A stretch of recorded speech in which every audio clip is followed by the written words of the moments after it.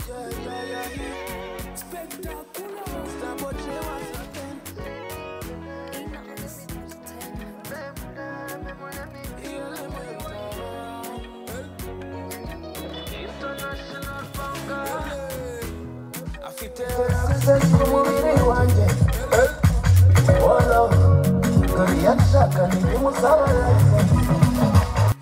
See, when her.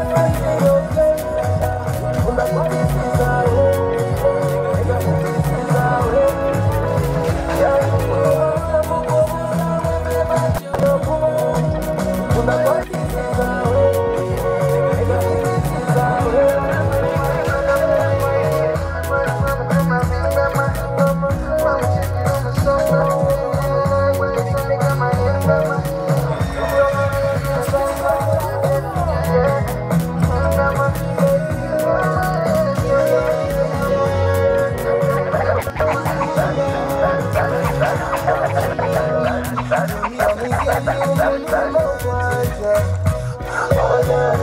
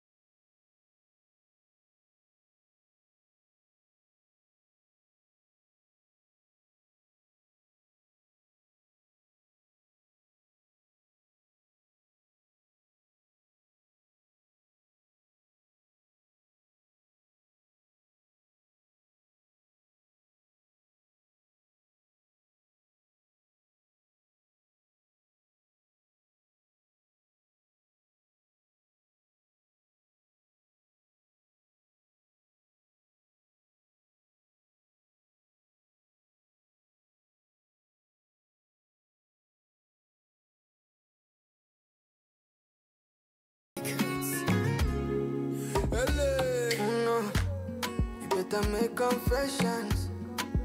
Confessions of a killer. You control my emotions. You messing with my medulla. Yes, I got many options. But she the only one I need. Like the oxygen I breathe. Me, I don't like that too. Get for you, I can put. Kukundwa nawe vifiti sukupe I love you, love you, love you, kuchi kuchi pe but I have one question. What can I do to win your heart forever? Till the end of time together.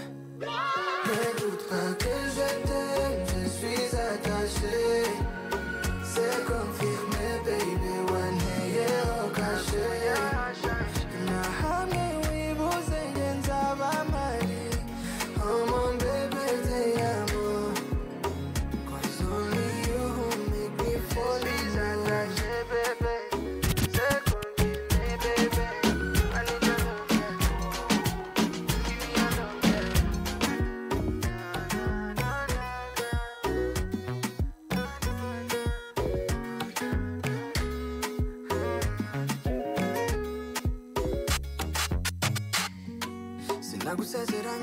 baby tengo un bon Vanessa Yeah, confite competitions, but I don't mind that Girl, you my baby.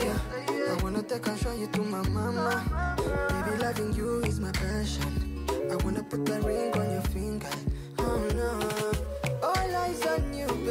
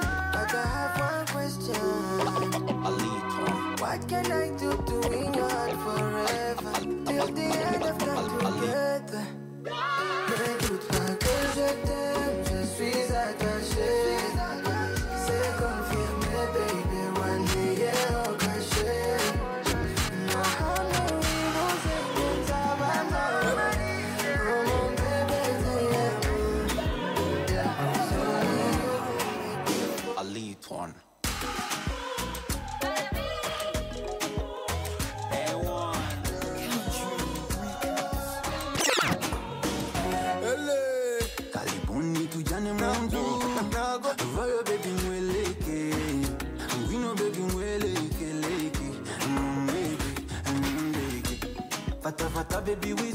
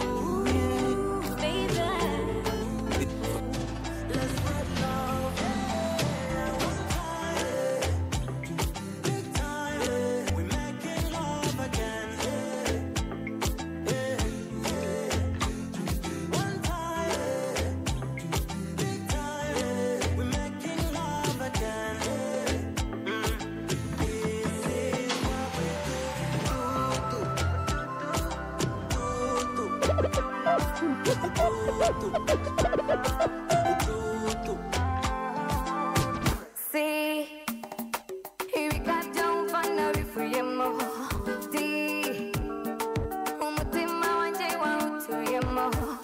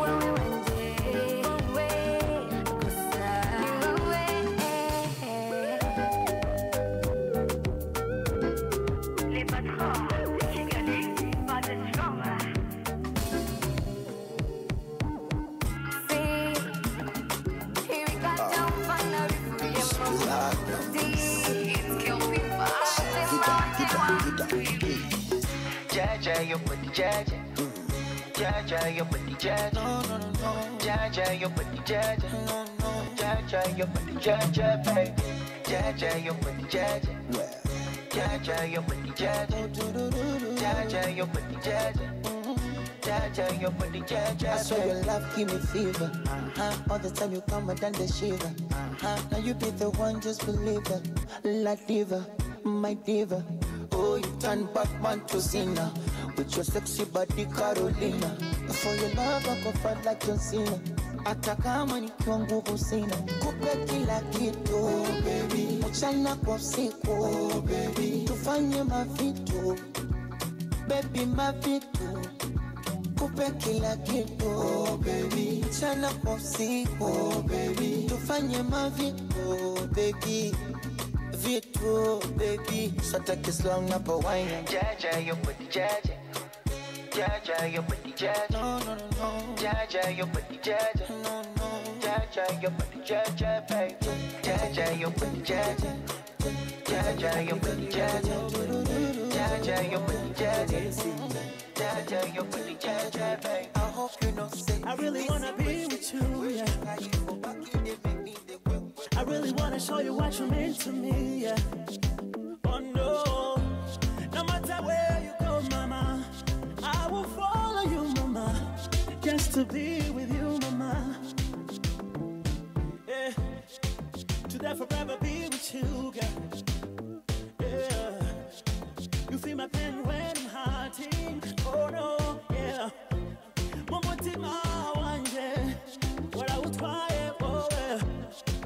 ndashaka kubikwibutsa eh.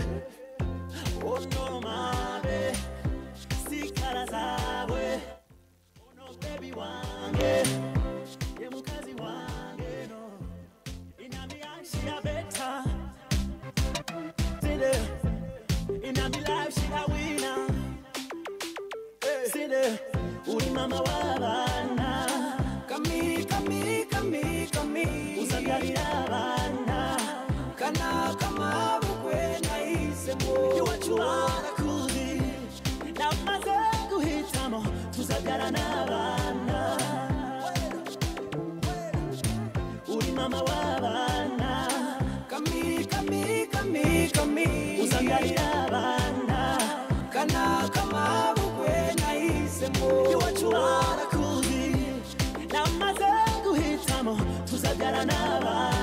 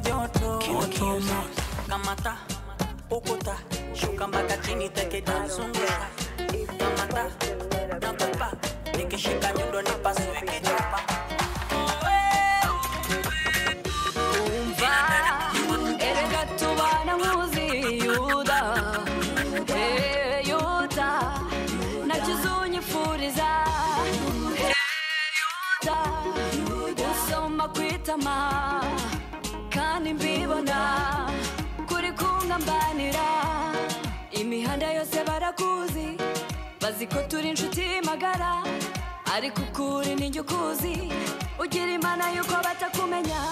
Ese ushimishwa n'iki? Ese wunguka iki? Ku iterambere ryanjye ritakunyura habe na gato.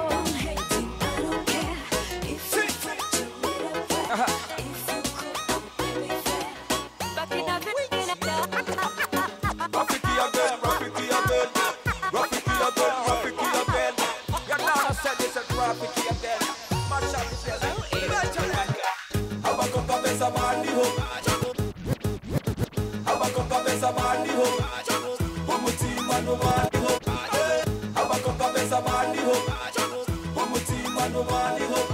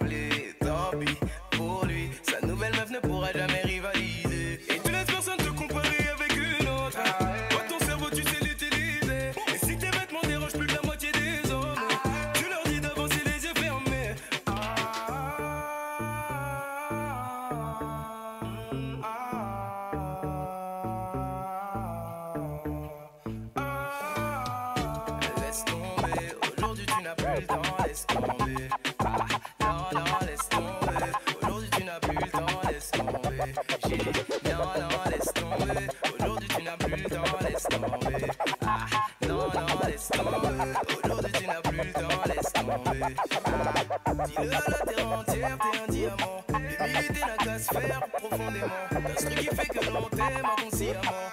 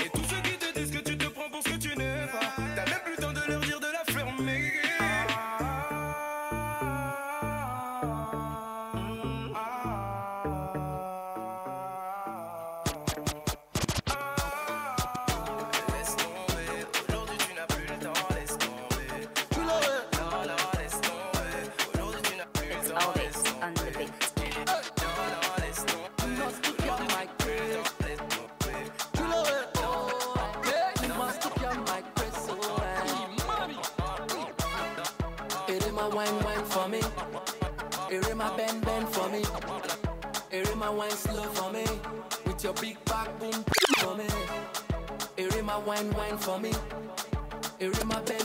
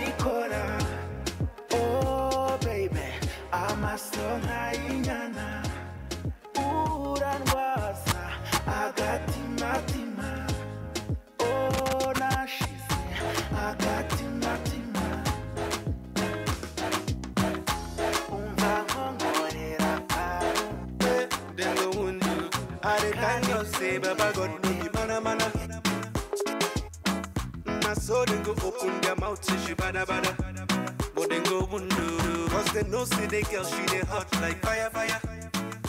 Yeah, all the dick no, I be the big dick no.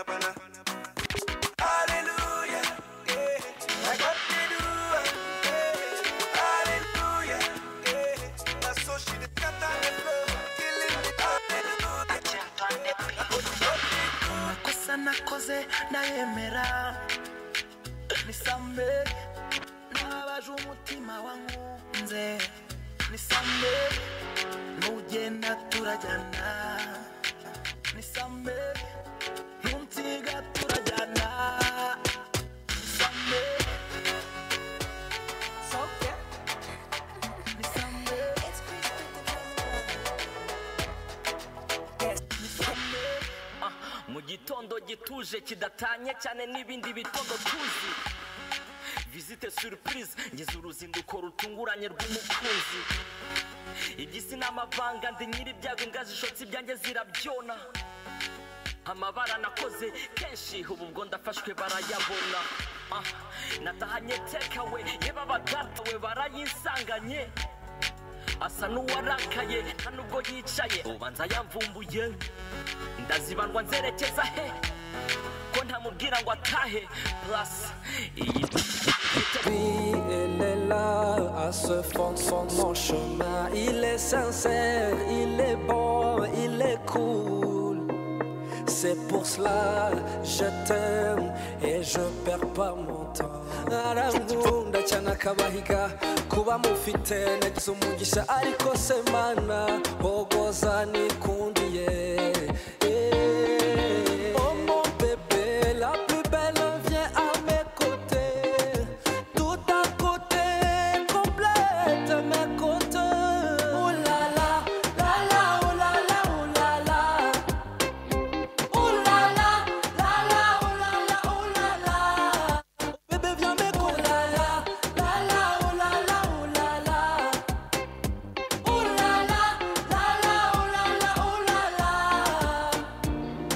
Bébé, je te jure que c'est toi à qui je pense. Vraiment, je tiens fort à notre amour.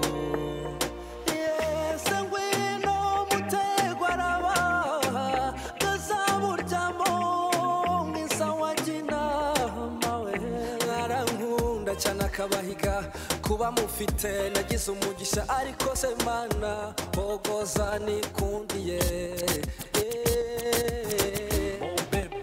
la plus belle vient à mes côtés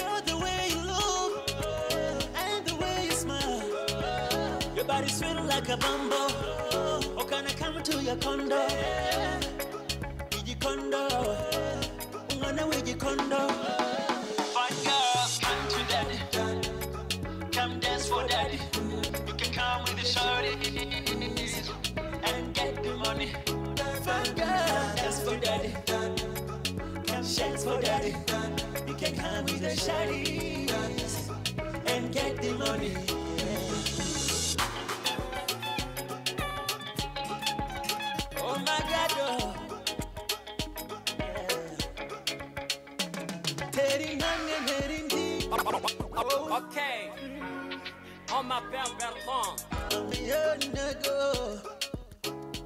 Maybe you can just order. Kila kitu nataka. Mama yo, mama Baby, give me chance. Maybe one more time. Girl, the way you look and the way you smile. Your body's feeling like a bumble to your condo. Iji condo. Ungana wiji condo.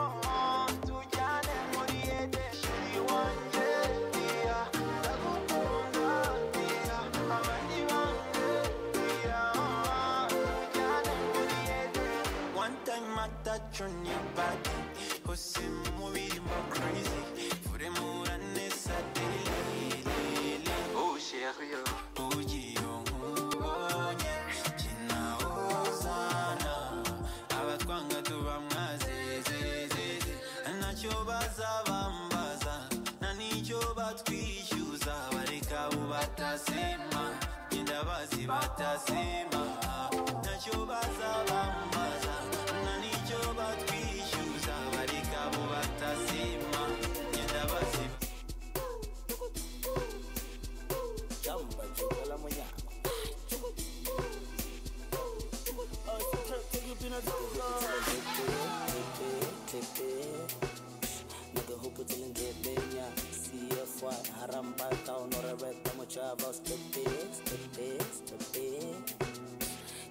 hagas que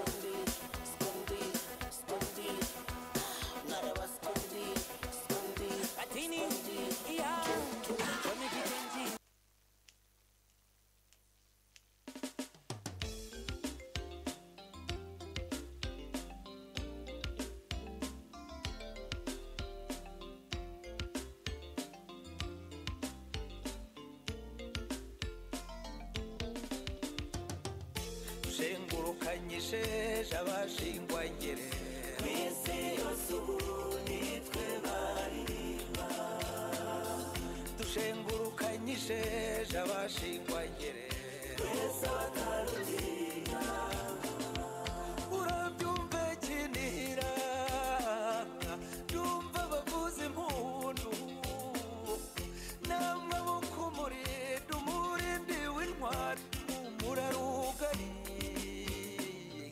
rugari rwa gasabo dushengurukanyije abashingwa ngere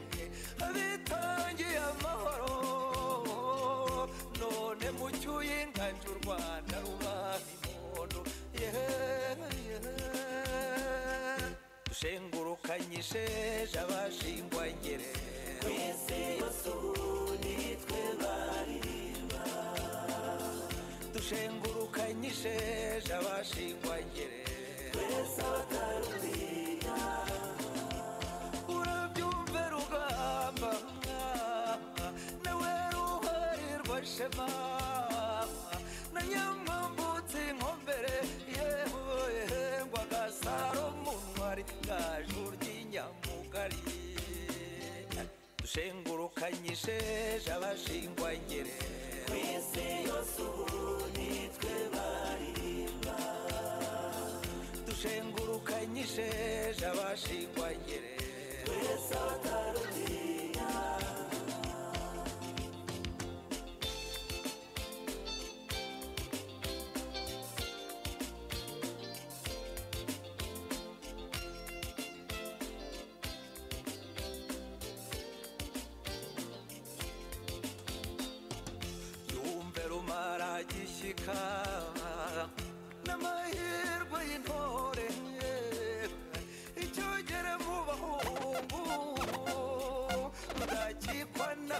Shazam.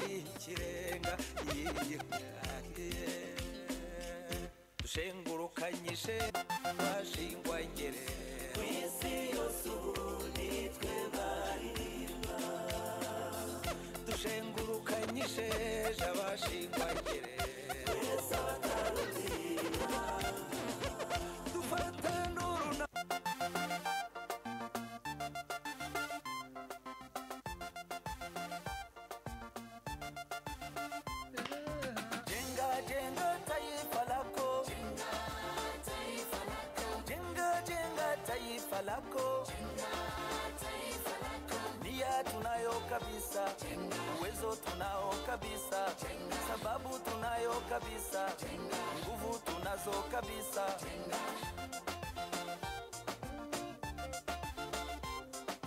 Asante Mungu Baba, sote tunashukuru. Asante raia wote, asante wasani wenzangu, asante shabiki wangu, twese tujenge taifa. Amarembo boneza makuza turucigatiye neza. Cyane abo bari mu mahanga bahuze gahunda ngo dufatanye kurwiyubakira abatabishaka bazabibazwe tugamije ubumwe bwo kururenganura tugaruye urukundo ishyaka n'ubutwari. Twese dufatanije twese n'imana y'u rwanda niyo yaduhaye kutaruzimiza yahaye urubyiruko kuruharanira. Intego dutanze ni ukurugira u rwanda rutatse iryo tuze n'amahoro adakuka. Menshi tukarugira ikirezi kirera abanyarwanda n'abanyamahanga bakarutanaga bakarwita isimbi risendereye tukaritura mu ngoro y'akanyarwanda tukarisasa neza aho ingabe yakunze cyane. Uwe ngabo zirukesha kavugire nganji ku rwanda rutsinze amacakubiri. Niyari umushinzi kamugororera muhe tudasubiye kuvuna impuruza mabuki datinya warugaruye rutemba. Shenge muhoza watuzaniye kudatana ngo twubake urwacu buzira imana yaguhanze iragahori Hey.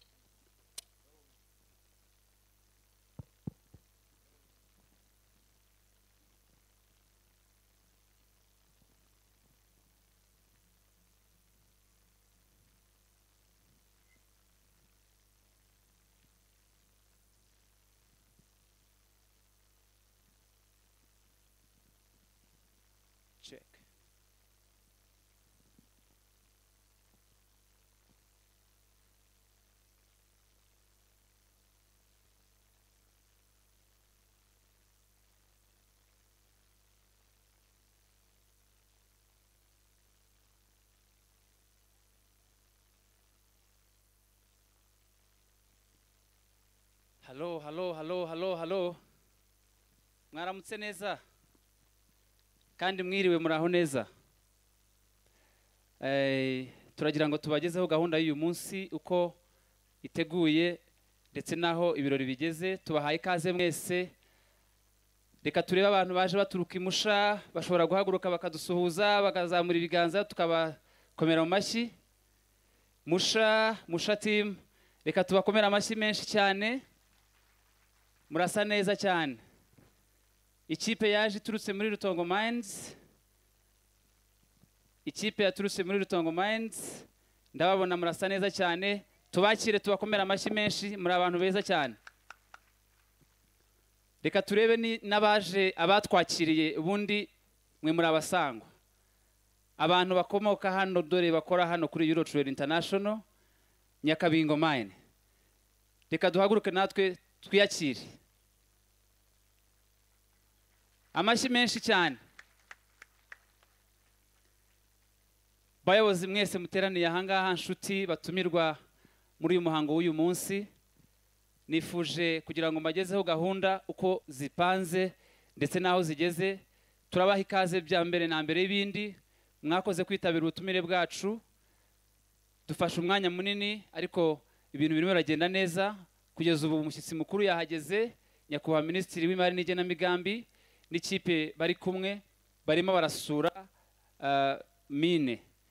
Nta minota myinshi bari bumare ndibubasabe rero kugira ngo nk'abantu turi hamwe twagendanye tuze kuba turi hamwe twakire rimwe neza n'urugwiro abashyitsi bacu b'imena. Ndaza kwakira by'umwihariko abashyitsi baba twatumiye n'abandi bashyitsi bahageze ariko ubwo gahunda ukuntu ipanze kugira ngo muyumve neza um, turi buze gutangirana umuhango wo gukata riba byarangiye abashyitsi bakase bamaze gufungura ku mugaragaro byabereye mu kigo. Haraza gukurikiraho gusura ni byo barimo gukora uyu munsi ubu tuvugana bari hafi kugaruka. Abayobozi bakuru ndetse n'umushyitsi mukuru bari kumwe. Eh, turaza kuza kumva isengesho rifungura. Turi buze guhabwa eh, n'uwa- n'uwateguwe arahari. Ndetse turaza kugira umwanya wo- kwidagadura no kubyina. Turi bufashwemo n'itorero inganzo ngari. Turaza kumva ijambo ry'ikaze turi buhabwe n'umuyobozi w'akarere ka rurindo ndetse tuze kwakirwa nanone n'umuyobozi mukuru wa trinity metals peter gareta.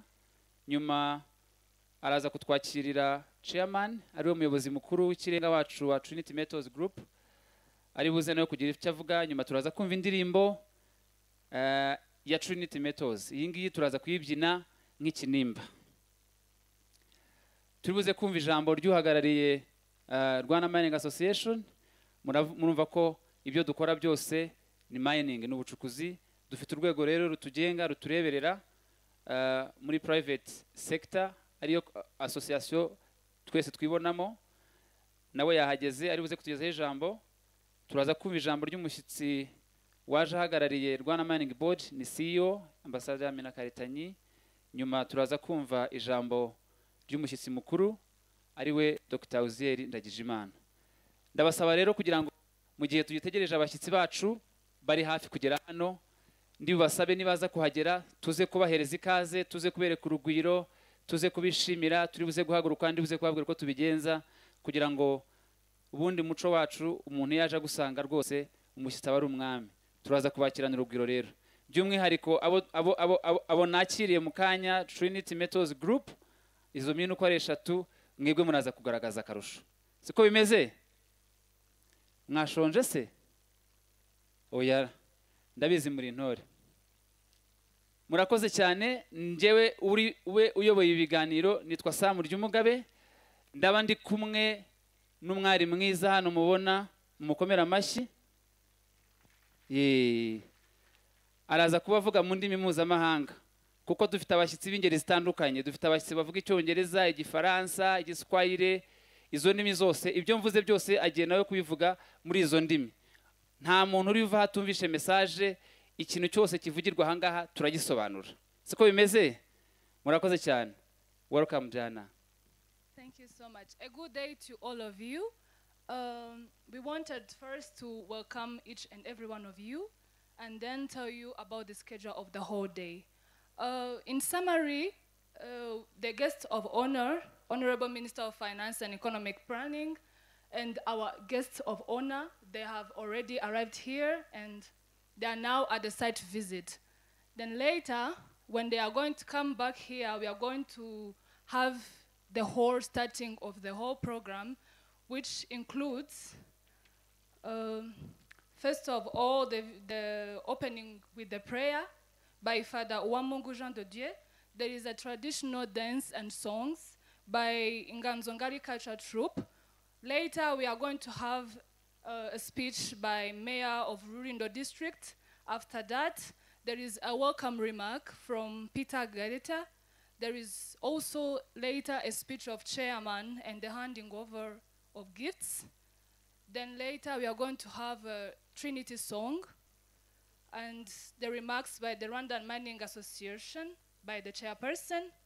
Then also we are going to have a speech from the remark by uh, RMB. Also at the end we are going to have a speech of the Minister of Finance followed by the traditional songs and the culture again, and then that will be the whole schedule for today. Keep being okay and enjoying the whole day. Thank you so much.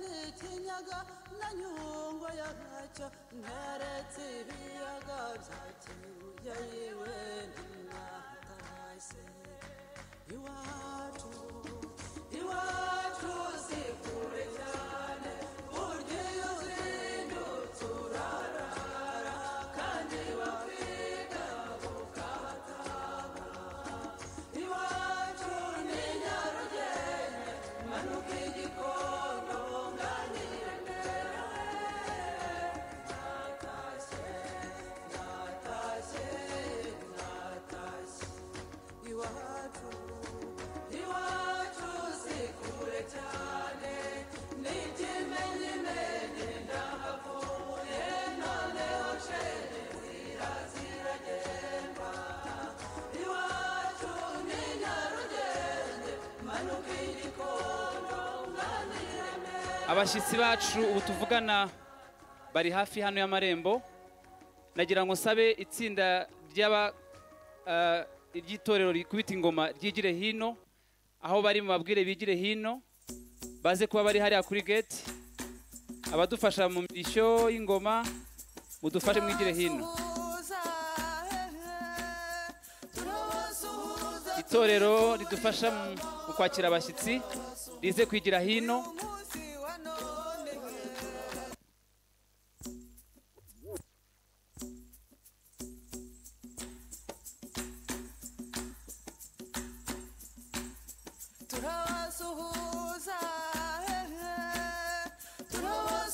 Itangazo ngira ngo eh, ngezeho abari aha ngaha bateraniye aha abantu twese turi muri aya matenti uza gukenera kugira uko yigenza hepfo hariya hari hari ibyateguwe hariyo hariyo ubwiherero hanyuma abicaye muri ino tenti ndetse na- n'abari hano ku ruhande turaza gukoresha ubwiherero bwo haruguru hariya.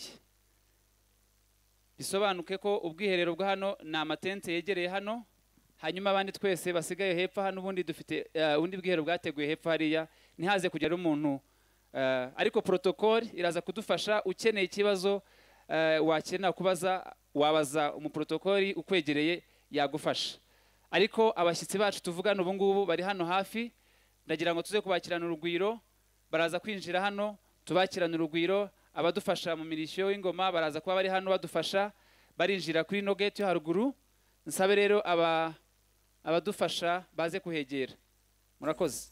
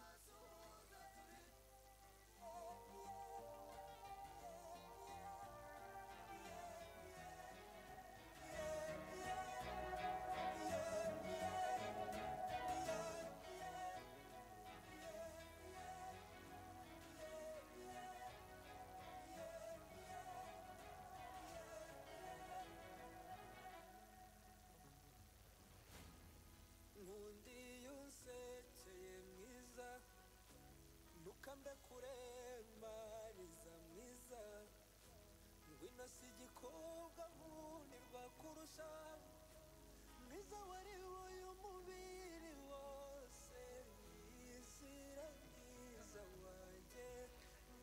abashyitsi bacu dutegereje ndetse n'umushyitsi mukuru barimo kwinjira ku marembo.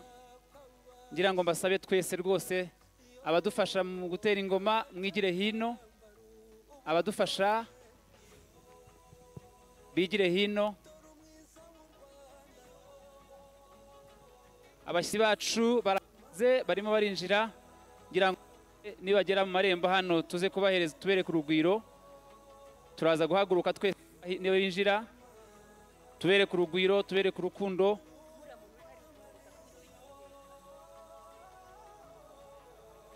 abadufasha mu mirishyo y'ingoma badufashe bigire hino.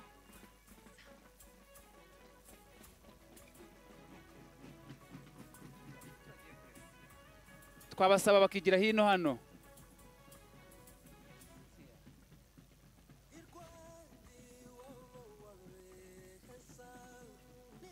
Abashyitsi bacu bamaze kuhagera. Abashyitsi bacu bamaze kuhagera nsabe media ndetse n'abashinzwe kubakira bigire hino. The guest of honor has already arrived, so people who are in charge of welcoming them, please be be ready, be around. Abashyitsi bacu bamaze kuhagera nsabe audience twese duhaguruke. Let's all stand up to welcome the visitors. abashyitsi bacu bamaze kuhagera nsabe abantu bose tubakire.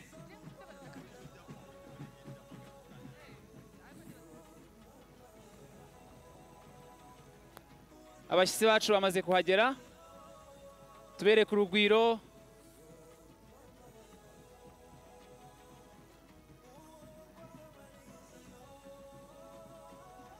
Nsabe media team n'abandi bose bigire hino abashyitsi bacu bamaze kuhagera. Tubereke urugwiro welcome on the photo banner. Honorable minister yeah, ambassador ceo wa rmb reka tumukomere amashyi yahageze. Tubereke urugwiro abamaze kuhagera. Welcome on board. Welcome. ikaze. Abashyitsi bacu barinjira bajya kuri kuri photo banner. For a photo pic, for a picture you're welcome honorable ceo welcome honorable ceo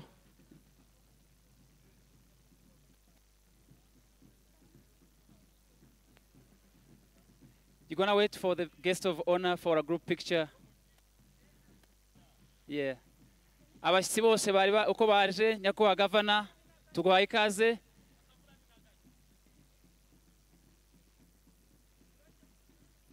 Abashyitsi bacu bose baje. We're gonna have a group picture here on the left. The people that have come from underground, are gonna have a photo picture here.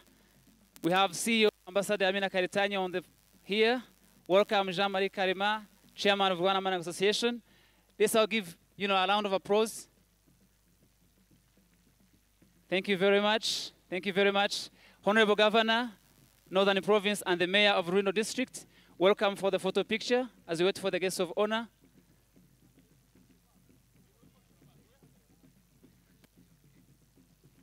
Welcome, welcome.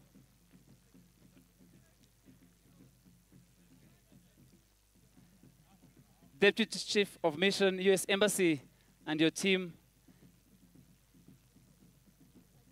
Deputy CEO, of Rwanda Mining Board, Rob Hare, UK High Commission representative. Thank you very much. As we wait for our guest of honor and chairman, Trinity Metals Group, we're going to wait for them here, and we have a group picture. Let me ask the protocol to guide the, the rest of the team, but we wait for the guest of honor.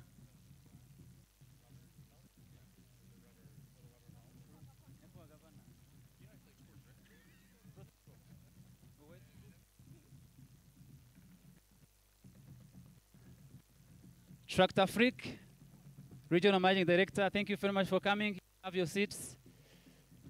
May I request the Governor, Honorable Governor and the Mayor to come and receive our guest of honor.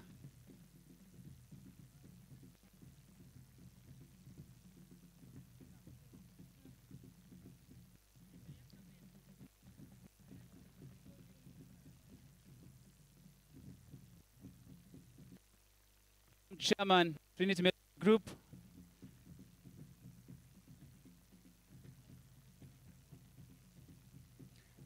welcome Honorable Minister of Finance and Economic Planning. Let's give him a round of applause. Our guest of honor is here. He's in a very good suit, underground suit, and he's going to pose. Welcome Peter Gereta, the CEO of Rwanda uh, Trinity Metals Group.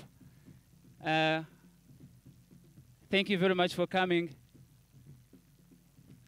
Reka dukomere amashyi cyane abashyitsi bacu bahageze umushyitsi wacu w'imena yahageze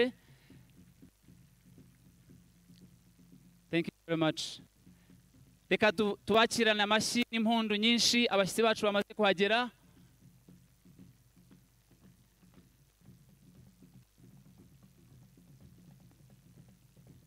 Dukomere amashyi menshi abashyitsi bacu bamaze kuhagera. Sabe protokoli dufashe ibereke ibyicaro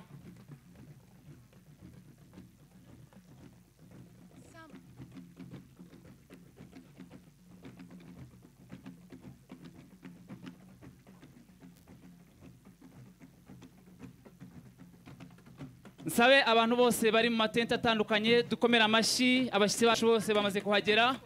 Tubereke urugwiro tubakomere amashyi menshi.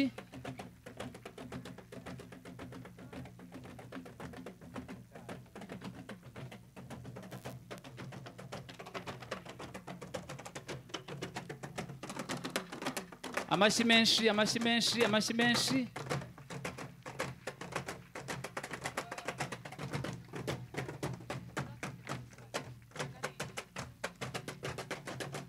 Thank you thank you.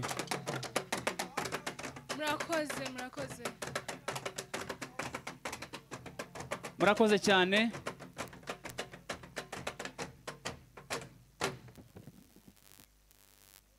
Murakoze cyane.